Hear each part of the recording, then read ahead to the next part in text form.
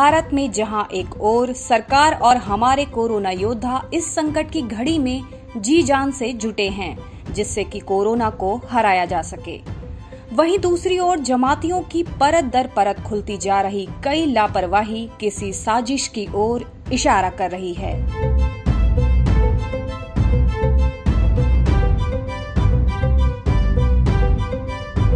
सबको पता है, तबलीगी का मूल उद्देश्य गैर इस्लामिक लोगों को इस्लाम से जोड़ना है। हरिद्वार, काशी, मथुरा, अयोध्या और उज्जैन जैसे हिंदुओं के पवित्र धार्मिक स्थानों से तबलीगी जमात के जमातियों का पकड़ा जाना इस बात पर सोचने पर मजबूर करता है कि आखिर तबलीगी जमात के कार्यकर्ता निजामुद्दीन मरकज से इन महत्वपूर्ण हिंदू धार्मिक स्थानों पर क्यों पहुँच गए। जबकि वे यहाँ के निवासी भी नहीं थे। अपने घरों की ओर जाने की बजाय वे यहाँ किन के निर्देश पर पहुँचे? क्या हिंदू धार्मिक स्थानों पर पहुंचकर ये किसी बड़ी साजिश को अंजाम देने की फिराक में थे, या यूँ कहें कि अभी भी अपने काम को अंजाम देने में लगे भी हैं?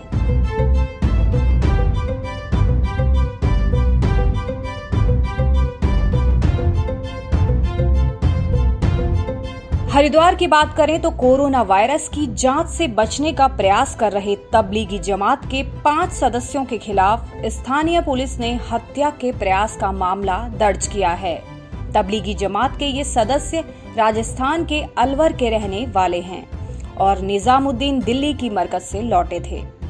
इनके एक साथी में कोविड 19 संक्रमण की पुष्टि भी हुई। बनारस में जमात के दो सदस्यों को कोरोना पॉजिटिव पाया गया। और वहीं सहारनपुर से भी इंडोनेशिया के तबलीगी जमात के कार्यकर्ताओं को पुलिस ने पकड़ा है।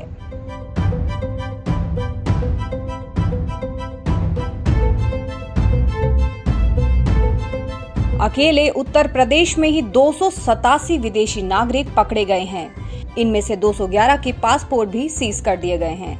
लखनऊ में कई विदेशी नागरिकों को पकड़ा गया था, जिन्होंने दिल्ली के निजामुद्दीन में हुए तबलीगी जमात के कार्यक्रम में हिस्सा लिया था। अब इन्हें 14 दिन क्वारंटाइन करवाकर जेल भेज दिया गया है। इसी तरह दो संक्रमित तबलीगी उज्जैन में छिपे हुए थे। यही हाल तमिलनाडु और तेलंगाना के धार्मिक शहरों का भी है।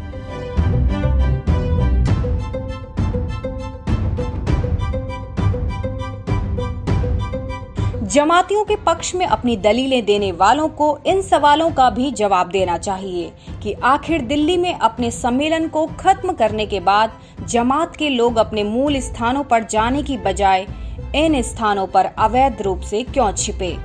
तमाम चेतावनी के बाद भी ये कोरोना बम बनकर क्यों घूम रहे हैं?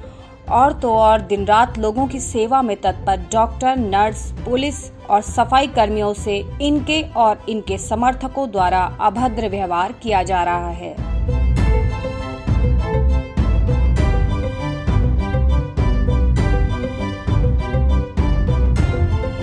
केंद्रीय स्वास्थ्य मंत्रालय के ताजे आंकड़े के अनुसार 17 राज्यों में कोरोना के वायरस को जमातियों द्वारा पहुँचाया गया। अभी तक देश में कोरोना के कुल रोगियों में इनके द्वारा संक्रमित होने वालों का आंकड़ा 50 फ़ीसदी तक जाता है। सिर्फ़ तमिलनाडु के 1000 संक्रमित लोगों में से 900 से ज़्यादा संक्रमण का इतिहास दिल्ली से लौटे तबलीगी जमातियों से ही जुड़ा है।